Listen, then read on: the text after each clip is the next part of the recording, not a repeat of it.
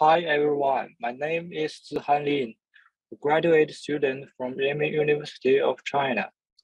Today, I will share the work from our lab named Improving Graph Collaborative Filtering with Neighborhood-Enriched Contrastive Learning. Nowadays, with the rapid development of web, people spend more time on many internet applications, such as streaming media and online shopping.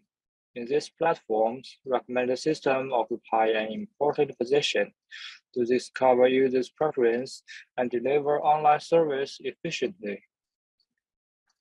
In the recommendation field, collaborative filtering is a classic approach whose key idea is to recommend similar items to similar users, Therefore, capturing the similarity among users and items is the most vital part of collaborative filtering algorithms. Recent years, graph collaborative filtering methods have received more and more attention as they get outstanding performance compared with the other methods these methods model the interaction data as graphs and learn user and item representations by graph neural networks. Several famous models like NGCF and LightGCN have achieved outstanding performance, and the architecture is followed by later works. However, the user item interaction data is usually sparse or noise which affects the robustness of these models. Recently, several works try to leverage contrastive learning to aggregate the problem such as SGL. However, their method lack consideration on how to construct more meaningful contrastive learning tests tailored for the recommendation. Also, their methods are inefficient as GNN should be run over multiple augmented graphs. Facing these two issues, we consider that there exist multiple kinds of partition relations that are useful to the recommendation test, such as user similarity, and we can design a more effective contrastive learning approach tailored for collaborative filtering on graph. And it should be conducted in node level, which is more efficient than the graph level. As we mentioned above, conduct contrastive learning between a node and the augmented nodes neglected the graph structure that link different nodes. Therefore, a strict consideration is to additional conduct contrastive learning with structural neighbors. Structural neighbors refers to structurally connected neighbors by high order paths. While structural neighbors would be severely disturbed by some noise edge. So we additional consider those semantically similar nodes, which we name as semantic neighbors they can be found in the representation space. Before we detailedly introduce our approach, we firstly define the problem given a user set U, item set I, and the interaction between them. We can conduct a bipartite graph G, and the target is to learn a representation for each user and item to make recommendation.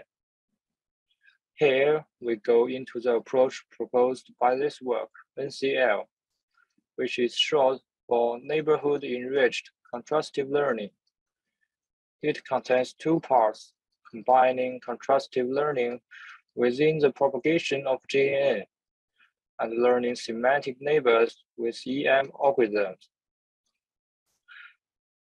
For the GNN architecture, we completely follow LightGCN which discuss the nonlinear activation and feature transformation in the propagation function. Then the representation of all layers are combined and adopt inner product to predict the preference score. BPR loss is used for optimization. For contrastive learning with structural neighbors, we construct the representation of each node with the representation of its high-order neighbors and treat all other nodes as negative samples to conduct the contrastive learning in the way of info NCE. The loss on users and items are calculated similarly and merged by a hyperparameter alpha. Then a problem arises. How to efficiently obtain high-order neighbors representation? Directly use matrix multiplication to get a homogeneous graph of users or items is costly. So we utilize the output of even GNN layer to get the representation. For node representations, we just use the raw input embedding vectors. And for the representation of high order neighbors, we use the output vectors after propagate for even times, such as two or four. For contrastive learning with semantic neighbors, we identify the semantic neighbors by learning the latent prototype for each user and item. The alignment is conducted between each user or item and their prototype. As the prototype of each user cannot be found beforehand, we treat it as a latent factor and formulate the goal of model in a log likelihood function then try to optimize its lower bound. This function can be optimized by EM algorithm. In each step, the representation of users are fixed, and we use k-means to find the cluster center of each user. In M step, the prototypes are fixed, and we optimize the representation of users. The whole process can be conducted in, in interactly for the optimization of our proposed method, we treat the proposed two contrastive learning laws as supplementary and leverage a multi-task learning strategy to jointly train the traditional ranking laws and the proposed contrastive laws. To verify the effectiveness of the proposed model NCL, we conduct extensive experiments on five public recommendation datasets. The datasets have different scale in users, items, and density, and they are widely used by previous works. We compare our method with multiple competitive baselines, achieving the best performance among the compared methods. We also conduct the ablation study to analyze the contribution of two kinds of neighbors. We observe that removing the relation between each kind of neighbors leads to the performance decrease. While the two variants are both perform better than the baseline, that's GCM. It indicates that explicitly modeling both kinds of relations will benefit the performance in graph collaborative filtering. Besides, these two relations complement each other and improve the performance in different aspects. Besides, we split the users in MovieLens and EF dataset into five groups based on their interaction number, while keeping the total number of interaction in each group constant. Then we compare the recommendation performance of NCL and light GCN on each groups. We find that the performance of NCL is consistently better than light GCN. Meanwhile, the performance gap becomes bigger when the dataset is sparser. This implies that the proposed neighborhood modeling techniques benefits more on sparse interaction data. To investigate the impact of different structure neighbors, we select the nodes in 1, 2, and 3 hop as the structure neighbors and test the effectiveness. We find that the results of the first even layer are the best among these variants. This occurs with the intuition that users or items should be more similar to their direct neighbors than indirect neighbors. We further test the performance of proposed NCL architecture on other GNN backbones. We observe that the proposed method consistently improves the performance of NGCF, DGCF, and LightGCN. Finally, we plot the distribution of learned item embeddings with KDE in two-dimensional space.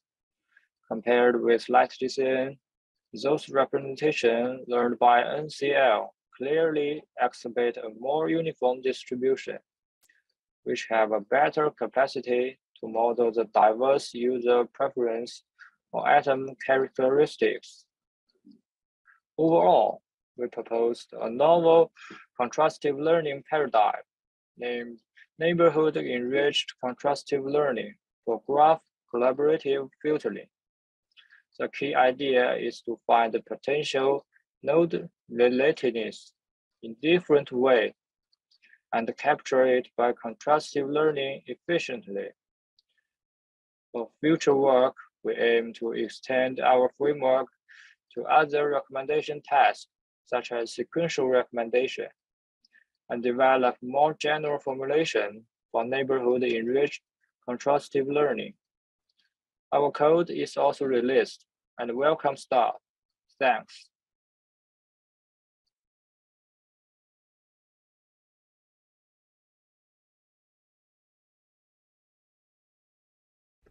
Thanks, Zihan. Um, if there are no questions. Uh, I'll wait, uh, you know, uh, 10 seconds for more questions to come on the chat. But meanwhile, I'll ask one question, which is um, you're doing an EM along with, you know, uh, learning the neural network. Uh, how much in terms of uh, space or time complexity does that add? And what is the scalability of your method? Oh, uh, actually, the EM algorithm is to uh, initially uh, optimize the clustering algorithm and the GNN. Uh, so you, you can uh, choose uh, first optimize the GNN, then optimize the clustering algorithm. Uh, the, the round you, you can choose the round by, by yourself. It, it is uh, uh, it, it doesn't result its uh, performance. Uh, so we, we just uh, optimize them initially and uh, you can change it to uh, other ways. Got it. And how sensitive is it to, uh, you know, uh, your EM algorithm? Uh, you know, and, and the clustering choice? Uh, actually, well, we, we didn't see much sensitive in our experiment. Uh, you can choose the clusters like uh, 100 and 500, uh, and the performance is it, it, it's quite same. Okay, super. Thank you.